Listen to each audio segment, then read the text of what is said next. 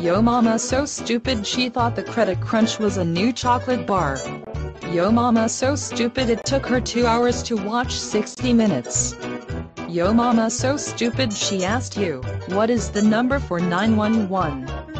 Yo mama so stupid when your dad said it was chilly outside, she ran outside with a bowl.